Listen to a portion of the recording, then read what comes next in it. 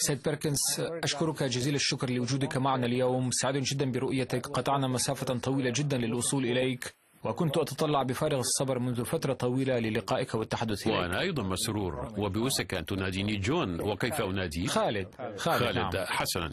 شكرا. طيب شكرا. سأبدأ بمقتطف من كتابك اعترافات قاتل اقتصادي بدأت كتابك بالكلمات التالية. القتل الاقتصاديون هم رجال محترفون يتقاضون أجور عالية. ويقومون بسلب تريليونات الدولارات من شتى دول العالم. الأموال التي تحصل عليها تلك الدول من البنك الدولي والوكالة الأمريكية للتنمية الدولية وغيرها من المؤسسات الأجنبية. يحولها القتل الاقتصاديون إلى خزائن المؤسسات الكبرى وإلى جيوب أغنى العائلات التي تتحكم في مصادر الثروات الطبيعية. السؤال الأول متى ولماذا ظهر القتل الاقتصاديون؟ ولماذا كانت أمريكا بحاجة إلى هؤلاء الأشخاص؟ أعتقد أن أول بلد بدأ هؤلاء الأشخاص العمل فيه كان إيران في بداية الخمسينات. وكان رئيس الوزراء الذي انتخب حين ذاك هو محمد مصدق. وكان قد بدأ في تنفيذ سياسة تأميم النفط لكي تنفق عائداته على احتياجات الشعب.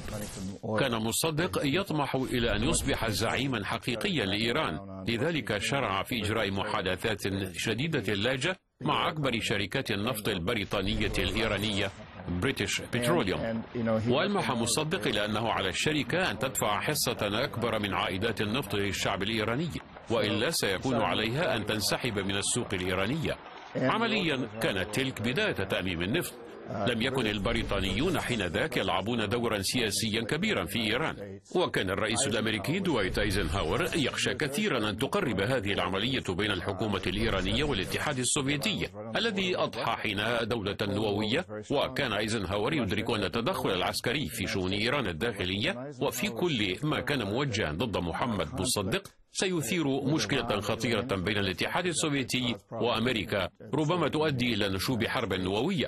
عندها أقنع وزير الخارجية الأمريكي ألان دالاس ومدير وكالة المخابرات المركزية. جون دالاس أقنع آيزنهاور بإرسال عميل لوكالة المخابرات المركزية إلى إيران للمساعدة في الإطاحة بمصدق وكان هذا العميل الذي توجه إلى إيران في مهمة خاصة هو كيرمت روزفلت حفيد الرئيس الأمريكي الأسبق تيودور روزفلت. سافر إلى إيران كان حاملا عدة ملايين من الدولارات وسرعان ما استطاع أن ينظم مظاهرات بدت وكأنها شعبية معادية لمحمد مصدق. أما في واقع الأمر فقد نظمت هذه المظاهرات مجموعة صغيرة من الأشخاص الذين تسلموا مبالغ كبيرة من المال الأمريكي. باختصار تمكن كيرميت روزفلت من الإطاحة بمحمد مصدق ووضعه قيد الإقامة الجبرية حتى آخر أيامه. وتمكن روزفلت من إعادة الشاه المخلوع إلى إيران. لقد عملت لدى شاه إيران عدة سنوات وحين ذاك تسنى لي الاطلاع على بعض أسرار وخفايا هذه العملية التي نفذتها وكالة المخابرات المركزية ووزارة الخارجية والبيت الأبيض بكل نجاح. أتصور أنذاك أنك ستساهم في خلق مشاكل اقتصادية للعديد من البلدان.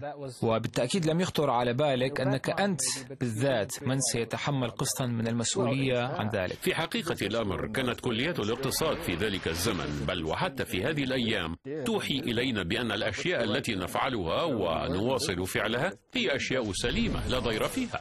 كانوا يعلموننا أننا إذ نستثمر مليارات الدولارات في تطوير البنية التحتية للدول المتخلفة كالإكوادور أو إندونيسيا حيث نشيد محطات الكهرباء وخطوط نقل الكهرباء وشبكة المواصلات وما إلى ذلك. إنما نعمل بذلك على تطوير اقتصاد هذه البلدان. وبالفعل كانت الدراسات التي نقوم بإعدادها تؤكد ذلك. ولكن ما لم تعكسه تلك الدراسات؟ هو أنه مع تطور اقتصاد البلاد الوهمي إنما في الحقيقة تزداد العائلات الحاكمة في تلك الدول ثراء وبمعدل أسرع بكثير. أما الشعب فيزداد فقرا لأنه هو الذي تقع عليه أعباء تسديد الديون التي أنفقت على هذا التطوير. وبوسعي القول إنني حين ذاك كنت أظن أنني أتصرف تصرفا سليما وأساهم في تقدم الدول النامية. وإذا ظهر رئيس أو زعيم ما لم يشأ قبول المشاريع الاقتصادية التنموية التي كنا نعرضها فكان ذلك يثير استغرابي لأنني كنت مؤمنا بأنني أتصرف على نحو صحيح. تقول في كتابك خلال ثلاثين أو أربعين عاما بنينا نحن القترة الاقتصاديين أكبر إمبراطورية في تاريخ العالم. ماذا قصدت بالإمبراطورية؟ يعني أي نوع من الإمبراطورية تلك؟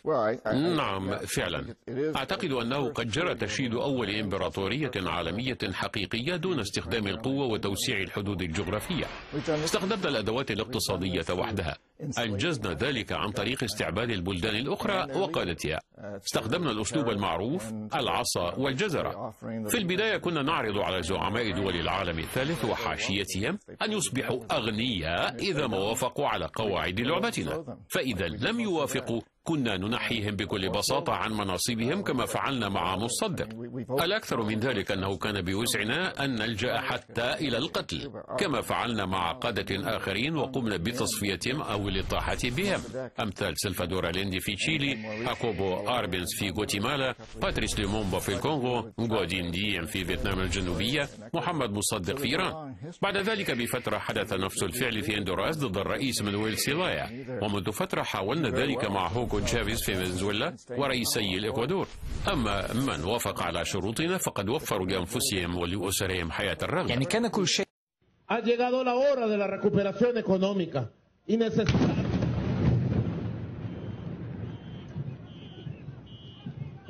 y necesitamos